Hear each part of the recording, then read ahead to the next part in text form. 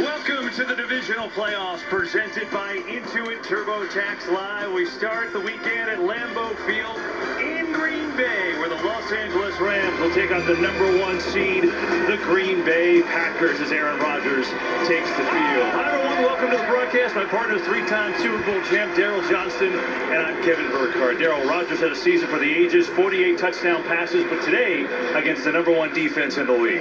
Yeah, and it's one of those things that I think is hard for any quarterback to do, even somebody as good and great as Aaron Rodgers is, and that is to be patient, not force things during the flow of the game. Jalen Ramsey and his teammate gave up the fewest explosive plays during the season this year. They're going to challenge you to move the ball methodically down the field. If Aaron Rodgers can stay patient, lean on that running game, and then take those shots and play action, it'll be very helpful today. So we're all looking at that matchup. What about the other side of the ball, though? How did the Rams win this game with their offense? Yeah, I think this is the one that's going to tip it one way or the other. Now, the biggest question is how well does Jared Goff play the quarterback position today? How well does he throw it? Head coach Sean McVay saw progress during the course of the week, but a big day from that O-line, and Cam Akers will go a long way to help out there. But this Packers defense is playing with a ton of swagger. They started off slow, but they played great football the month of December.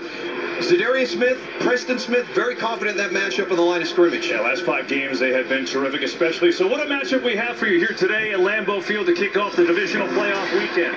The number one offense against the number one defense at kickoff on Fox. Come on, next.